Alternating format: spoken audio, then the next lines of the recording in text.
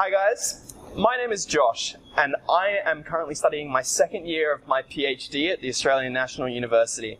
And my research is in organic synthetic chemistry. And what this means is that on a regular basis, I have to be able to synthesize new compounds that no one's ever made before and figure out how to purify them to get nice, clean compounds out the other end. So let's take a look at how these work and some real examples that I do in the lab.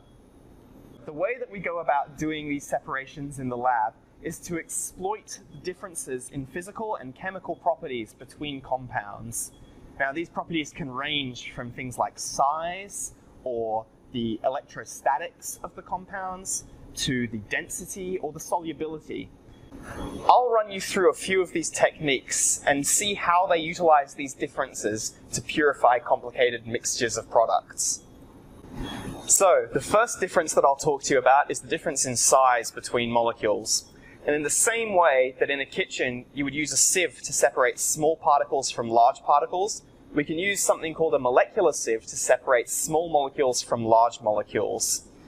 In addition, we can also use a technique called gel electrophoresis, particularly with proteins, to separate different fragments of proteins that have been chopped up by their size. So next, we have differences in solubility and density. And these two properties often go hand in hand when we're trying to separate a mixture.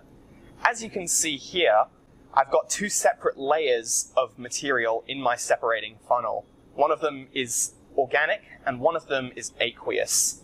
Now we can use differences in solubility of molecules to get them to dissolve in either the organic layer or the aqueous layer, and then we can separate out these layers of solution to remove either aqueous or organic impurities from a given solution. Another really important part of this separation technique is utilizing differences in density.